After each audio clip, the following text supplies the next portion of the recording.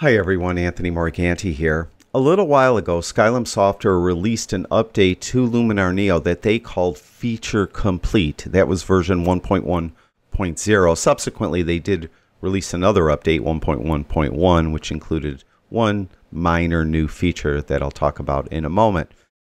In today's video, I want to talk about what do they mean by feature complete and what are these features that they're referring to and I also want to talk about what I hope Skylum Software does with Luminar Neo going forward.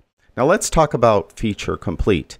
You may remember that Skylum Software announced Luminar Neo, I believe in like September of 2022, and they mentioned that it would be available around the holiday season. It didn't end up coming out till sometime in January, but they did say it would be available around the holiday season. And eventually, it would have all these new features that would make it unique to Luminar AI. But they did say when it is released around the holiday season, it's not going to have all those new features yet, but they will be introducing those new features with updates. And with version 1.1.0, it now has all those new features that they promised it would have back in September of last year. So they're calling it feature complete. It does not mean that they're they've stopped developing it and they're not going to be adding any new features to it. It just means that everything they promised it would have, it now has. And now they're going to work on it some more and add more to it. So that's what it means by feature complete. Now, what are these features? Well, let's talk about these new features that kind of make it unique to Luminar AI. Let's go to the edit panel first. Uh, this main new feature that many people were disappointed about Luminar AI because Luminar AI didn't have it is Luminar Neo has layers. And you can see over here on this image, there are two layers. There's a layer that is the model, and then there's the layer of the background. The background is an image I took, and the model is uh, an Adobe stock image that I used to put the model in the scene. Okay, that's great. So it has layers now. And with version 1.1.1, they added one very minor feature with layers in that you could duplicate a layer. You could right click on a layer and duplicate it, and then you could actually remove it as well or delete it. So um, that is a minor feature that was added after the feature complete version came out. Now, it's nice that we have layers, all right? But what I hope they do with layers very soon is they add the ability for us to either flatten it or to add a stamp layer on top. Because, for example, let me click on the model. Let me go over now. I want to process the image. All right. So I'm going to go over to the develop uh, tool. And let's say I just take exposure all the way down. See how it's only affecting the layer with the model. And similarly, if I click on the background layer and I go over to any tool, we'll just go to the develop tool for this demonstration, it only affects the background. So what if after you do a composite like this, you want to process the entire image, every pixel in it at the same time? Well, you need either to be able to flatten these layers or to put a stamp layer on top. So I hope they do that very, very soon to enhance layers and make it more functional. Now, one of those other new features, or let's go to this image, we'll go to edit uh, is the power line removal feature. Uh, that was available in Luminar Neo right when it was first introduced. Uh, if you go over to the erase tool, you'll see it's right here, remove power lines. I'm going to click on it. Couple things here. Uh, it does a fine job if your power lines are pretty isolated against a sky and you don't have anything busy behind it like trees, like I have here. Otherwise, it will not remove the power lines very well that happen to be in front of the trees. Like this power line in front of this tree, it's not going to remove it. The power line over here, it's not going to remove it all. And even up here, it's not going to remove it all. It does okay in front of clouds. It does okay in front of skies. And I would venture to guess that if it was in front of a blank wall, it would do okay in front of the blank wall. But it won't do a good job. And you can see it didn't. Uh, so you can see it left this chunk of power line here, a little piece of the power line here, and a power line up here that's one thing I hope they improve. They need to improve that so it just works better. Uh, also, it took a long time, didn't it? It took a really long time, and I have a very fast computer. So I hope they speed that up. Now, to get rid of the rest of the power line, you'll have to erase it. So you could get, let's say, a brush and make the brush tool a little smaller and paint on the power line. But this is actually problematic because it doesn't really do a very good job. I'll just do this one. I'll click erase. And you could see, eh, it actually made a layer out of me. It did okay. But often, all too often, it would just pop a hole in the trees as well. It would take out like tree branches. It actually is doing pretty well. But I think you'll find, and those of you that have used this in similar situations, I think you'll agree and comment below that it doesn't always work very well. And it kind of messed up this tree up here. So they need to improve it. It's nice it has it. They need to improve it. Another new feature that it has that makes it unique to Luminar AI is the remove dust spots. Now, I really don't have an image handy that has dust spots on it, but the little bit I've used this, this works great. So if you have an image that has dust spots or sensor spots, anything with little specks that you normally would use the erase tool to click on and then erase, you could just click this button and it will automatically remove them. And I found that that actually works pretty well. Um, so I think that's good. Another new feature they added, which came out later, it wasn't introduced right when the product came out initially, was uh, Mask AI.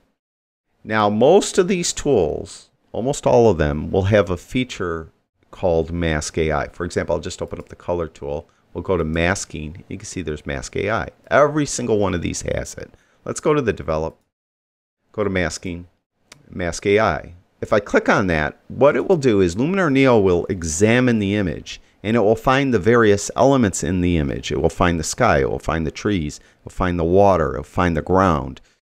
And when it finds them, it will list them. So it found the sky, it found the flora, I believe that's the trees, it found the water, it found the mountains, I believe it's just these cliffs off in the background, and it found natural ground. That's going to be probably this ground over here. So it found all the various elements. This allows you then to just process those elements independently of everything else. Now, what I would like the, to see them do with this going forward is first of all, if you hover over sky, I would like it to show you the overlay. It won't show you the overlay until you click on any of these. So I click on sky and you can see there's the overlay. The other thing I would like them to do is to refine this a little bit. You can see how it didn't find in between these trees very well and around these trees over here. So it's it's just not quite perfect. Now their sky replacement tool works great.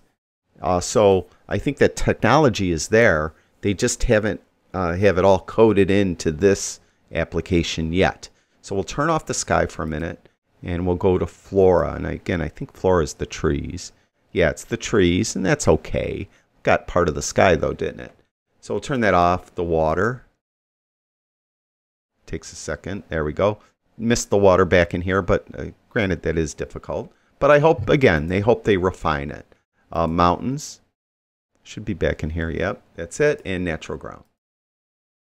So the idea here is that you would use this uh, Mask AI to, you know, fix something specific, excuse me, in your image turn that off for a minute. And you could do more than one. Like I could do flora and water and mountains and give it a second and it will select all those. And I could adjust all those at once. But let's just say, let's do sky because that's easy to see. You click on that and make that active. It's active. Then you could go to adjustments and any adjustments you do will just affect that. But you can see how it didn't select in between these trees very well over here. So it's a nice feature. I don't know of any other application that has anything similar. I just hope they further refine it and make it so that it better selects these different elements in a scene. Uh, let's see, what else does it have? Let's go back to the catalog and let's go to um, this image. This is an image, uh, it's a stock image I mentioned uh, earlier. Um, I clipped her out of the background with this uh, new feature called Portrait Background Removal that is unique to Luminar Neo. It actually works pretty well. Let me reset this. I'll go to Actions, Revert to Original, and you can see there's the original stock image. Now, to clip her out of the background, uh, portrait background removal is found in layer properties and it's in masking and it's right here, portrait background. You click on it and it will examine the image and find the background and find what isn't the background. And it did it.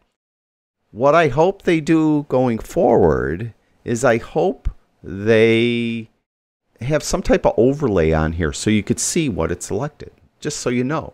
Now you can click on remove, and once you click on remove, it will remove it.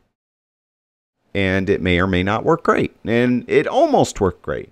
It just has this big chunk right here. Now her hair looks a little funky, but if you had seen the video where I actually demoed this tool, I used this exact image. Her hair is actually fine. She's just a blonde and she has some flyaway hair and it's just kind of looks funny. But once I dropped her in that other scene, it looked perfectly fine. But we do have to get rid of this. So then we would get the refinements brush. This is considered background, so you would click on background. You have three different things here. The transition area, which is the edge around her body. It Then the object, which is her, and the transition. Uh, or I'm sorry, and then the background. So we need to make paint this background so that Luminar Neo that knows that that little chunk of whatever that is up there is background. And you would just paint on it. And it's a bit delayed. It's a bit slow, but it will put that blue overlay on there, which indicates background, right? And then it, you can see it got rid of it. So now she is clipped out, right? And then you could go back to properties and you could see she's clipped out just fine. Then what you would do is you would export this as a PNG with uh, transparency, and then you could take her, and I did this in that video, As a Matter of fact, I'll have that video listed in the description below this video if you're interested in how to do this. And then you could take her and drop her into another scene like we did here. Just like that. So these are the new features that they touted back last year that make it feature complete. And what I hope they still continue to do with these new features. Now, overall with Luminar Neo, what else do I want it to have beside these improvements to these quote new features? Well, first of all, the catalog itself. The catalog itself is very rudimentary. Uh, you basically could just favorite an image or reject an image by clicking on that little heart. You favorited it, or you could right click on the image, go to Set Flag, and you have uh, keyboard shortcuts PX and U to favorite it, reject it, or unmark it. That's really all you could do. You don't have color labels. You don't have any keywording uh, available. You can't change the name of the image, uh, nothing like that. So I hope they further develop the catalog tool or the catalog section of Luminar Neo so that um, we could do more stuff with it. You know, uh, maybe have um, you know the the ability to um, sort the images by like a color label or something like that. So I'd like to see that int be introduced as well. Now, presets, Luminar Neo, of course, has presets. You may remember that Luminar AI had templates. Templates are presets. I mean, let's not kid anyone. It's presets, right? But if you bought or developed presets in Luminar AI, those presets aren't compatible in Luminar Neo, but they did say that they would be making a conversion tool to convert the Luminar AI templates to Luminar Neo presets. That conversion tool still is not available. So that is a feature, I think, but they need to make that available. So hopefully they come out with that soon. The other thing is Luminar AI's catalog, that is basically all your edits and all that stuff, is not compatible with Luminar Neo's catalog. So all those edits you did in Luminar AI aren't recognized by Luminar Neo, but they did say that they would be coming out with a conversion tool to convert a Luminar AI catalog to Luminar Neo, so Luminar Neo would recognize all your Luminar AI edits. Hopefully, they come out with that very soon. Um, that I think is very important for a lot of people because a lot of people were really invested in Luminar AI and they felt like they had the rug pulled out from under them when they uh, started. You know, they said they're coming out with a new app, Luminar Neo, and that kind of leads me to my final wish: is they don't do that again that Luminar Neo is it. They're going to develop Luminar Neo like Adobe has a developed Lightroom, right? They're just developing Lightroom Classic and developing it and developing it and developing it. And when a new version of Lightroom Classic comes out where the old catalog wasn't available, right off the bat, it converts the old catalog to the new catalog so that you could just seamlessly keep using Lightroom Classic. I want Skylum software to do that moving forward with Luminar Neo.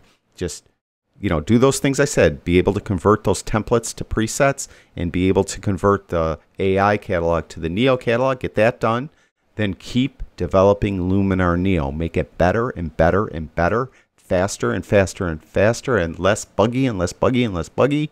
And I think you'll have a really happy customer base. Um, let me know your thoughts, what you hope they do with Luminar Neo in the comments below.